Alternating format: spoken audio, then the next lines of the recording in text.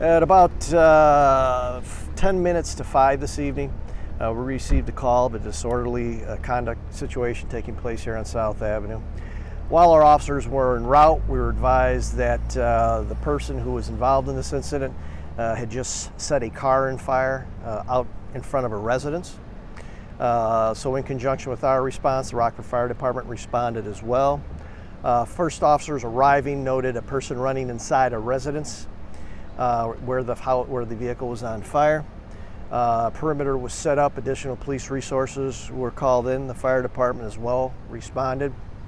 Uh, we gained information uh, from uh, others here at the scene, which indicated that there was a subject here at the residence uh, that for some reason or another became upset, and as a result, he started his car on fire. officers also could hear him doing some type of damage inside the residence. Uh, what we ended up doing is calling in our crisis negotiators, uh, who eventually, after a period of time, were able to make contact with the uh, subject inside the residence. Uh, he then uh, came out, surrendered peacefully, and with no issues, no problems, and no injuries. at this point, we are continuing to hold the scene.